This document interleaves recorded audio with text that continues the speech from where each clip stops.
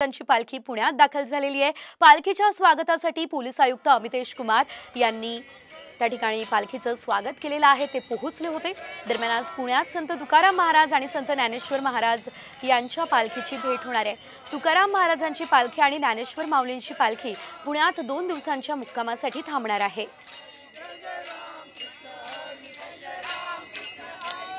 अधिकची अपडेट आपण या संदर्भात घेऊयात. आमचे प्रतिनिधी सागर आव्हाड यांच्याकडून सागर आपण बघतोय या ठिकाणी. या दोनही पालख्यांची आज भेट होणार आहे. काय त्या ठिकाणची परिस्थिती आहे? कसं भक्तिमय वातावरण आहे? सविस्तर.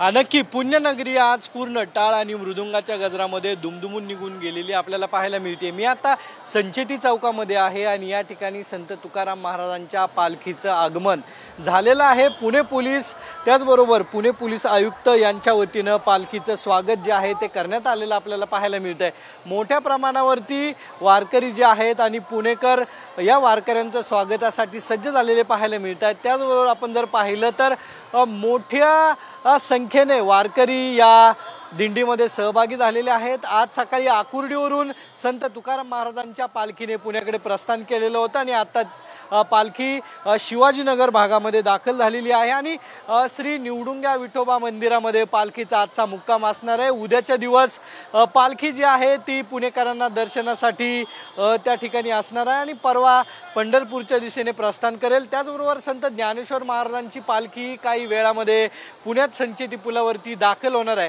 त्यामुळे या दोन्ही पालख्या आज पुणे मुक्कामी आहेत आणि उद्या दिवसभर दर्शनासाठी पुणेकर या पालख्यांचं दर्शन घेणार आहेत आणि वारकऱ्यांची सेवाही करणार आहेत.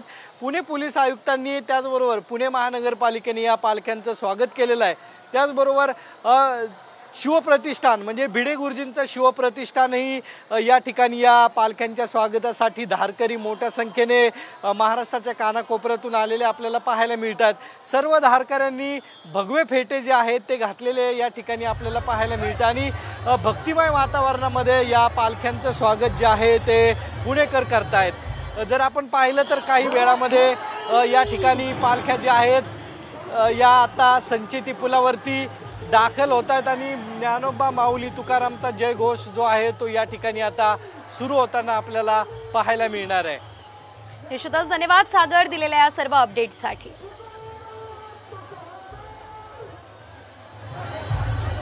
हे अतिशय सुंदर अशी दृश्य आपण पुण्यातली बघतो. तुकोबांची पालखी ही पुण्यात दाखल झालेली आहे आणि अमितेश कुमार यांनी या पालखीचं स्वागत केलेलं आहे. वारकरी आणि धारकरी मोठ्या संख्येने या ठिकाणी जमले असल्याचं बघायला मिळतंय. आणि ज्ञानोबा तुकोरा तुकाराम हाच गजर या ठिकाणी सर्व वारकऱ्यांकडून केला जातोय. तर तुकोबांची पालखी आता पुण्यात दाखल झालेली आहे. सर्व पुण्यनगरीमध्ये टाळ मृदुंगाचा गजरच आपल्याला ऐकायला मिळतोय. या पालखीचं उत्साहात स्वागत या ठिकाणी करण्यात आलेला आहे.